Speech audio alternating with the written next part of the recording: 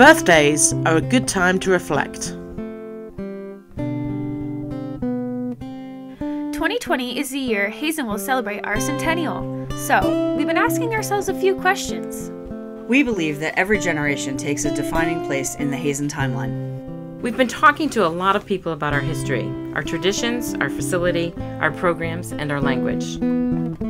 We believe now is the time to address the cultural appropriateness of our village names. Did you know? Onondaga is a misspelling of the word Onondaga, an Iroquoian word meaning people of the hills. Sachem means a chief of a confederation of the Algonquin people. Juniata is the misspelling of Juniata, which is thought to be a corruption of the Iroquoian word Onayuda, meaning standing stone. Tamarack is actually a type of tree. And Mosequa is totally made up.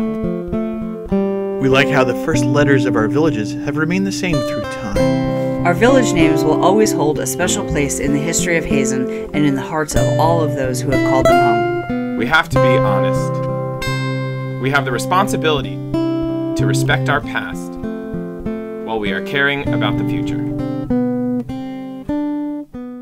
Announcements, announcements, announcements. We're excited to reveal our village names for the next century.